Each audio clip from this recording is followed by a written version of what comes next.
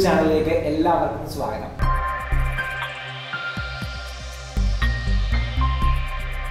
കഴിഞ്ഞ ദിവസങ്ങളിൽ നമ്മൾ നിതിൻ രാജ് ഐ പി എസിന്റെ സിവിൽ സർവീസ് കഥകൾ കേൾക്കുകയായിരുന്നു. ആ കഥകൾ വീണ്ടും തുടരുകയാണ്. Welcome back Nithin Raj. Right കഴിഞ്ഞ ദിവസങ്ങളിൽ നമ്മൾ സിവിൽ സർവീസിന്റെ ഇതിന്റെ ഒരു ജേണി പറഞ്ഞു. കുറേയധികം കാര്യങ്ങൾ പറഞ്ഞു.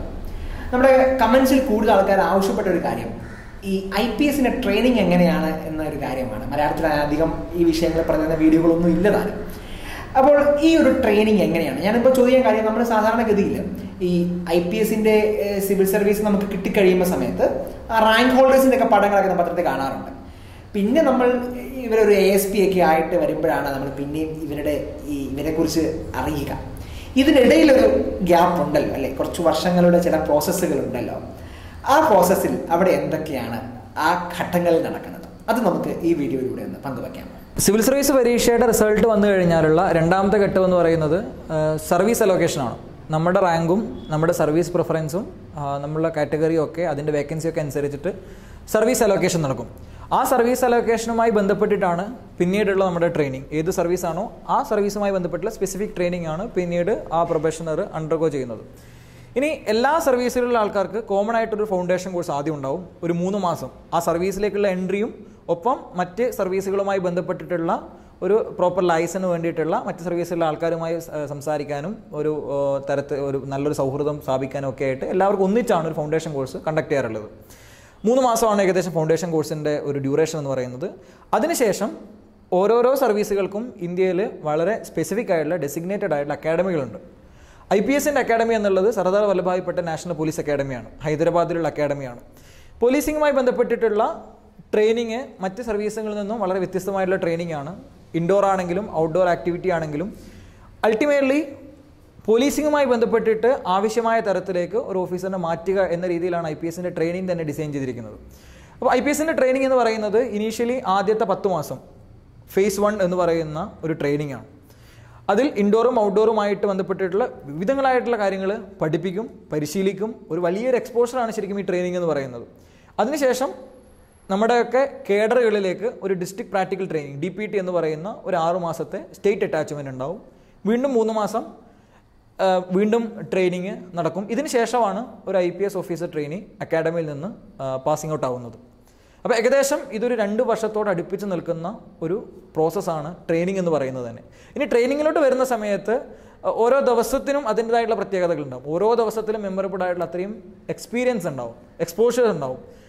രാവിലെ ചെയ്യുന്ന എക്സസൈസ് ആണെങ്കിലും റണ്ണിങ് ആണെങ്കിലും യോഗ പോലുള്ള കാര്യങ്ങളാണെങ്കിലും മറ്റ് ഫിസിക്കൽ എക്സസൈസ് ആണെങ്കിലും ഒക്കെ അൾട്ടിമേറ്റ്ലി നമ്മുടെ ലിമിറ്റ്സിനെ നമ്മൾ പുഷ് ചെയ്യുന്നത് നമ്മൾ തന്നെ നമ്മൾ റിയലൈസ് ചെയ്യും. ഇനീഷ്യലി നമ്മൾ വിചാരിക്കും നമ്മൾക്ക് ഇത്രേ പറ്റുള്ളൂ എന്ന് വിചാരിക്കുന്നിടത്ത് നിന്ന് നമ്മുടെ സ്ക്വാഡ് മേറ്റ്സിന്റെയും നമ്മുടെ ട്രെയിനേഴ്സിന്റെയും ഒക്കെ സപ്പോർട്ട് കൊണ്ട് നമ്മൾ കുറച്ച് കൂടുതലായിട്ടുള്ള ഒരു ടാർഗറ്റ് അച്ചീവ് ചെയ്യുന്ന സമയത്ത് നമ്മുടെ ലിമിറ്റ്സിനെ ഒന്ന് പുഷ് ചെയ്തുകൊണ്ട് അല്ലെങ്കിൽ അതിനപ്പുറത്തേക്ക് കടക്കാൻ വേണ്ടി നമ്മൾ പറ്റുമ്പോൾ നമ്മൾ തന്നെ റിയലൈസ് ചെയ്യുമ്പോൾ അത് തരുന്നൊരു വലിയ ആത്മവിശ്വാസമുണ്ട്. ഇനി അത് ഔട്ട്ഡോറിന് കഴിഞ്ഞ് പിന്നെ ഇൻഡോർ ക്ലാസ്സുകളാണെങ്കിൽ ഒരുപാട് ലോ സബ്ജക്റ്റുകൾ കാരണം ലോ എൻഫോഴ്സ്മെന്റ് ആണ് ഒരു പോലീസ് ഓഫീസറുടെ ജോലി. അങ്ങനെ വരുന്ന സമയത്ത് അതിനെ സ്പെസിഫൈ ചെയ്തിട്ടുള്ള ഒരു C R P C I P C evidence act special laws local laws പോലുള്ള സബ്ജക്റ്റുകളുടെ ഡിസ്കഷൻസ് ഉണ്ടാവും. ചില ദിവസങ്ങളിൽ സീനിയർ ആയിട്ടുള്ള ബ്യൂറോക്രാറ്റ്സുമായിട്ടുള്ള ഇൻട്രാക്ഷൻസ് ഉണ്ടാവും. സംവാദങ്ങളുണ്ടാവും ഇങ്ങനെ വളരെ വ്യത്യസ്ത തരത്തിലേക്കുള്ള തരത്തിലാണ് ഇൻഡോർ ക്ലാസ്സുകൾ സംഘടിപ്പിക്കാറുള്ളത്. ഇനി അതിനുശേഷം ആഫ്റ്റർനൂൺ ആണെങ്കിൽ വീണ്ടും ഔട്ട്ഡോർ ആക്ടിവിറ്റിയാണ് വെപ്പൺ ട്രെയിനിങ്ങും സ്വിമ്മിങ് പോലുള്ള കാര്യങ്ങൾ ഹോഴ്സ് റൈഡിങ് പോലുള്ള കാര്യങ്ങൾ വളരെ ഇൻട്രസ്റ്റിംഗ് ആയിട്ടുള്ള ഒരുപാട് അറ്റാച്ച്മെന്റ്സും ഒക്കെ ആയിട്ടാണ് ഐ പി എസിന്റെ മൊത്തം ട്രെയിനിങ് പോകുന്നത്. അക്കാഡമിയുടെ അകത്തുള്ള ട്രെയിനിങ് ആക്ടിവിറ്റീസ് ഉണ്ട്. ഒപ്പം തന്നെ അക്കാഡമിക്ക് പുറത്ത് പോയി അക്കാഡമിയുടെ പുറത്ത് നിന്നുള്ള ഒരുപാട് എക്സ്പോസർ കിട്ടുന്ന തരത്തിലേക്കുള്ള യാത്രകളും വിവിധങ്ങളായിട്ടുള്ള പോലീസിങ് ഏജൻസിയുമായിട്ട് ബന്ധപ്പെട്ട അറ്റാച്ച്മെന്റ്സും ഒക്കെ നിറഞ്ഞു നിൽക്കുന്ന വളരെ ഇൻട്രസ്റ്റിംഗ് ആയിട്ടുള്ള ഒരു ഘട്ടമാണ് ശരിക്കും ട്രെയിനിങ് എന്ന് പറയുന്നത്. നമ്മൾ മസൂരിയിലെ ഐ എസ് അക്കാഡമിയിലൊക്കെ റെക്രീഷൻ ക്ലബ്ബുകളെ കുറിച്ച് കേട്ടിട്ടുണ്ട്.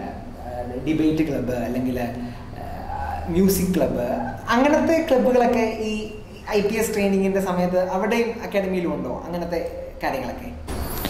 തീർച്ചയായിട്ടും ഇത്തരത്തിലുള്ള എല്ലാ എക്സ്ട്രാ കരിക്കുലർ ക്ലബ്ബുകളും കോക്കലരിക്കുലർ ക്ലബ്ബുകളും ഒക്കെ ഐ പി എസ് ട്രെയിനിങ്ങിന്റെയും കൂടെ പാർട്ടാണ് C D F A society cultural ആർട്സുമായി ബന്ധപ്പെട്ടുള്ള കാര്യങ്ങൾ നടത്തുന്ന C D F A society പിന്നെ ന്യൂസ് പേപ്പറുമായി ബന്ധപ്പെട്ടിട്ട് സഹകരിച്ച് നിൽക്കുന്ന debate society photography society music club ഇങ്ങനെ വളരെ വ്യത്യസ്ത തരത്തിലേക്കുള്ള ക്ലബ്ബുകളും സൊസൈറ്റികളും അക്കാഡമിയിലും ഉണ്ട്. ഇനി ഈ ക്ലബ്ബിലുള്ള ആക്ടിവിറ്റിയിൽ പാർട്ടിസിപ്പേറ്റ് ചെയ്യുക ഒരു മാൻഡേറ്ററിയും കൂടിയാണ്. നമുക്കതിൽ സെലക്ട് ചെയ്യാമെങ്കിൽ പോലും ആ ആക്ടിവിറ്റിയിലേക്ക് നമ്മൾ ഇൻവോൾവ് ചെയ്യുന്ന തരത്തിലേക്ക് പീരിയോഡിക്കായിട്ട് ഒരുപാട് ആക്ടിവിറ്റീസ് കണ്ടക്ട് ചെയ്യും. എക്സിബിഷൻസ് ഉണ്ടാവും ക്വിസ് കണ്ടക്ട് ചെയ്യും ഡിബേറ്റുകൾ കണ്ടക്ട് ചെയ്യും ഫോട്ടോ വാക്ക് നടത്തും. അങ്ങനെ വളരെ രസകരമായിട്ട് നമ്മുടെ ഉള്ളിലുള്ള സർഗവാസനകളെ പരിപോഷിപ്പിക്കുന്ന തരത്തിലേക്ക് അതിനുള്ളൊരു സപ്പോർട്ട് തരുന്ന തരത്തിലേക്കുള്ള റീക്രിയേഷണൽ എന്റർടൈൻമെന്റ് ക്ലബ്ബുകളും എഡ്യൂക്കേഷണൽ അക്കാഡമിക് പെർസ്പെക്റ്റീവുള്ള ക്ലബ്ബുകളൊക്കെ അക്കാഡമിയിൽ സജീവമാണ്. ഈ അക്കാഡമിയിലെ ഈ വളരെ ഡൈവേഴ്സ് ആയ പല കാര്യങ്ങൾ പറഞ്ഞു ഏറ്റവും മെമ്മറബിൾ ആയിട്ട് അല്ലെങ്കിൽ ഇപ്പോഴും അവിടുന്ന് ആ ട്രെയിനിങ്ങിന്റെ ഘട്ടങ്ങളിൽ ഇപ്പോൾ അതിൽ നിന്നൊക്കെ മാറി നിൽക്കുന്ന ഈ സമയത്ത് പോലും ഏറ്റവും ഓർത്തെടുക്കുന്ന ചില കാര്യങ്ങൾ എന്തൊക്കെയായിരിക്കും? മെമ്മറബിൾ ആയിട്ടുള്ള കാര്യങ്ങൾ ഒരുപാടുണ്ട്. പ്രത്യേകിച്ച് നമ്മുടെ അക്കാഡമിയിലുള്ള ആക്ടിവിറ്റീസ് ഒക്കെ സ്ക്വാഡ് വൈസ് ആണ്. അക്കാഡമിയിലുള്ള മൊത്തം ബാച്ച്മേറ്റ്സിനെ വ്യത്യസ്തങ്ങളായിട്ടുള്ള സ്ക്വാഡുകളെ തിരിച്ച് എല്ലാ ആക്ടിവിറ്റീസും ഈ സ്ക്വാഡിനകത്ത് നിന്നുകൊണ്ടൊക്കെയാണ് നമ്മൾ ചെയ്യുന്നത്. അപ്പോൾ ആ സ്ക്വാഡിനകത്ത് നിൽക്കുന്ന സമയത്ത് ഒരു വലിയൊരു ടീം സ്പിരിറ്റ് നമ്മൾ മനസ്സിലാക്കും. നമ്മൾ പരസ്പരം സഹായിച്ചും പരസ്പരം സപ്പോർട്ട് ചെയ്തും പരസ്പരം പ്രോത്സാഹിപ്പിച്ചും ഒക്കെയാണ് ഓരോരോ ആക്ടിവിറ്റീസ് നമ്മൾ ടാർഗറ്റ് അച്ചീവ് ചെയ്യുന്നത്.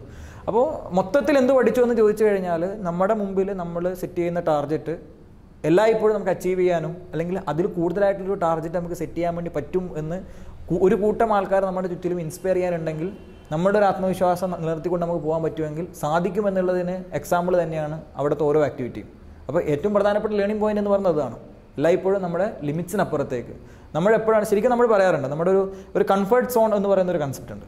അപ്പോൾ കംഫർട്ട് സോൺ എന്ന് പറഞ്ഞാൽ എല്ലായ്പ്പോഴും നമ്മൾ നിൽക്കാൻ ഉദ്ദേശിക്കുന്നത് നമ്മുടെ ഒരു കംഫർട്ട് സോണിന്റെ അകത്താണ്. നമ്മൾ സംസാരിക്കാനുള്ള ഇഷ്ടപ്പെടുന്ന ആൾക്കാരാണെങ്കിലും നമ്മൾ സംവേദിക്കാൻ ഇഷ്ടപ്പെടുന്ന കാര്യങ്ങളാണെങ്കിലും ഒക്കെ നമ്മുടെ ഏറ്റവും കൂടുതൽ നമ്മൾക്ക് താല്പര്യമുള്ള ഒരു ചുറ്റുപാട് നിന്നുകൊണ്ടാണ് എപ്പോഴും നമ്മൾ നിൽക്കാൻ ആഗ്രഹിക്കുന്നത്. പക്ഷേ നമ്മുടെ ഏറ്റവും വലിയ ചലഞ്ച് തുടങ്ങുന്നത് നമ്മൾ ആ കംഫർട്ട് കൊണ്ട് പുറത്തു പോകുമ്പോഴാണ്. അവിടെ നിന്നാണ് നമ്മൾക്ക് നമ്മളെ ഒരുപക്ഷെ കൂടുതലായിട്ടും കണ്ടെത്താൻ പറ്റുന്നത്. ഒരുപക്ഷെ ഒരു ഒരു ഒരു വളരെ സീരിയസ് ആയിട്ടുള്ള സിറ്റുവേഷൻ വരുന്ന സമയത്ത് നമ്മൾ എങ്ങനെയാണ് അത് ഹാൻഡിൽ ചെയ്യുന്നത്? ഇത് വളരെ ഇമ്പോർട്ടന്റ് ആണ്. അപ്പോൾ അത് നമ്മുടെ കംഫർട്ട് സോണിന് പുറത്തുള്ള ഒരു ഡിസ്കംഫർട്ട് ആയിട്ടുള്ള ഒരു സാഹചര്യത്തിൽ നിന്നാൽ മാത്രമേ നമുക്ക് കണ്ടുപിടിക്കാൻ വേണ്ടി പറ്റുള്ളൂ. അങ്ങനെ ഒരു സാഹചര്യത്തിൽ പോലും നമുക്ക് നമ്മുടെ കോൺഫിഡൻസിനെ കുറയാത്ത തരത്തിലേക്ക് നമ്മുടെ നമ്മുടെ ഒരു ആത്മവിശ്വാസം നിലനിർത്തിക്കൊണ്ട് പോകാൻ വേണ്ടി പറ്റും എന്ന് നമ്മൾ ഈ ആക്ടിവിറ്റീസിലൂടെ തന്നെ കുറേയൊക്കെ തിരിച്ചറിയുന്നുണ്ട്. അതിന് ഏറ്റവും പ്രധാനം ഒരു കൂട്ടം പേര് സപ്പോർട്ട് ചെയ്യാൻ നമ്മുടെ കൂടെ ഉണ്ട് എന്നുള്ളത് കൂടിയാണ്. അക്കാഡമിയിൽ ഏറ്റവും വലിയ ലേണിംഗ് പോയിന്റ്സ് അത് തന്നെയാണ്. നമ്മുടെ കംഫർട്ട് സോണുകൾക്ക് അപ്പുറമായിട്ട് നമ്മൾ ചിന്തിക്കുവാനും പ്രവർത്തിക്കുവാനുമുള്ള ഒരു ബോധ്യങ്ങളാണ് ഈ ഒരു അക്കാഡമിയിലെ ട്രെയിനിങ്ങിൽ ലഭിച്ചതെന്നാണ് നിതിന്റെ ഐ പി എസ് നമ്മളോട് പങ്കുവച്ചത്. സിവിൽ സർവീസ് ജേണിയും അങ്ങനെയാണ് നമ്മുടെ കംഫർട്ട് സോണുകൾക്ക് അപ്പുറത്തേക്ക് കടക്കുന്നതാണ് സിവിൽ സർവീസ് ജേണിയും. ഈ ഒരു സമയം നമ്മളോടൊപ്പം സ്പെൻഡ് ചെയ്ത നിതിൻ രാജിന് നിതിൻ രാജ് ഐ പി എസിന് ഒത്തിരി നന്ദി. താങ്ക് യു തീർച്ചയായിട്ടും ഈ ഒരു യാത്ര ഈ ഒരു സംഭാഷണം അവസാനിക്കുന്നില്ല. കൂടുതൽ വിഷയങ്ങളുമായിട്ട് നിതിൻ രാജ് ഐ പി എസുമായിട്ട് നമ്മൾ വീണ്ടും കാണും. ചാനൽ സബ്സ്ക്രൈബ് ചെയ്യാൻ മറക്കരുത്. Thank you so much